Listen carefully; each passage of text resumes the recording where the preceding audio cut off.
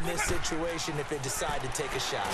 Nowhere to escape. Yo, I want to welcome all y'all to the best Madden 19 tips and trips channel where you will be able to dominate on offense, send the fast blitzes on defense, make your opponent rage quit and send you nasty messages or either beg for you to quit out the game. I also do custom schemes if you play regs, so hit your boy up, follow the link in the description to get all the ebooks and you will become an exclusive member. Welcome to the Clamp Squad. What's up gamers? Welcome back to another Madden 19 tip video. Today I am going to go over how to send fast blitzes and what to look for when you are sending blitzes. Now you don't want that to happen. We're going to see that again. He has nobody open.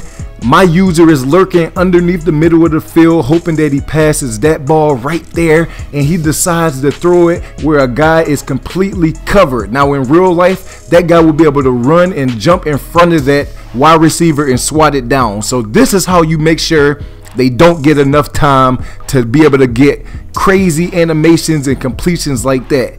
And that is to hover and then hit your trigger two times, your right trigger. Once you hover, hit your right trigger two times, and that's gonna make all disengagements on the block sheds and the blitzes come in way faster. I don't know why. I tried it out all yesterday for about four games and it gets in there and if you need help on offense you can see I'm throwing dots with Matt Stafford the worst quarterback in the game but I'm making them look good look at that screaming fast pressure now look he has to block seven people in order to block my blitz setup. So if you want this blitz setup, make sure you go into the top 50 to 100 weekend league package down in the link in the description. And all this is going to be updated in the next 45 minutes to an hour.